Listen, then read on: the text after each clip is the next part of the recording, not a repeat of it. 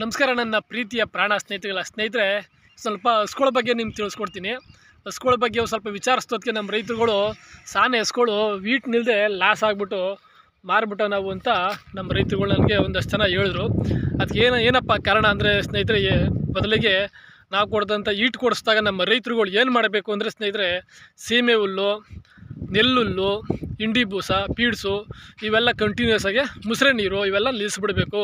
ನಮ್ಮ ರೈತರುಗಳು ಏನು ಮಾಡ್ತಾರಪ್ಪ ಅಂದರೆ ದುಡ್ಡು ರೊಟೇಷನ್ ಆಗಲ್ಲ ಅಂದ್ಬಿಟ್ಟು ಏನು ಮಾಡ್ತಾರೆ? ಹಾಲು ಕಮ್ಮಿ ಬರ್ತದೆ ಅಂದ್ಬಿಟ್ಟು ಇಂಡಿ ಬೂಸ ಪೀಡ್ಸು ನಾನು ಹೇಳ್ದಂಥ ಪದಾರ್ಥಗಳನ್ನೆಲ್ಲ ಕಂಟಿನ್ಯೂ ಕೊಡ್ತಾ ಬಂತಾರೆ. ಅದು ಯಾವುದೇ ಕಾರಣಕ್ಕೂ ಈಟು ನಿಲ್ಲಲ್ಲ. ಇದು ನಮ್ಮ ರೈತರುಗಳು ಮನದಟ್ಟು ಮಾಡ್ಕೋಬೇಕು.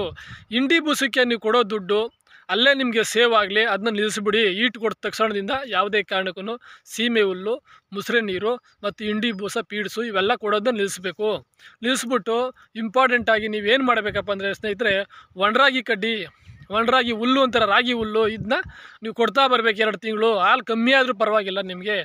ಈಟು ನಿಂತಾದ ಮೇಲೆ ನೀವು ನಿಮ್ಮ ಟ್ರೀಟ್ಮೆಂಟ ಶುರು ಮಾಡ್ಕೊಳ್ಳಿ. ಆಗ ಅದು ಗರ್ಭಾವಸ್ಥೆ ಆಯ್ತದೆ. ಇದು ಇದೇನೋ ನೀವು ಮಾಡಿದೆ, ನಿಮ್ಮ ದುಡ್ಡು ರೊಟೇಷನ್ ಆಗಲಿ ಅಂತ ನಿಮ್ಮ ನೀವು ಹಾಕುವಂಥ ಪದಾರ್ಥಗಳನ್ನ ಹಾಕಿದ್ರೆ ಯಾವುದೇ ಕಾರಣಕ್ಕೋಸು ಈಟ್ ನಿಲ್ಲಲ್ಲ. ಇದರಿಂದ ರೈತರುಗಳು ನಷ್ಟ ಅನುಭವಿಸ್ತೀರಿ.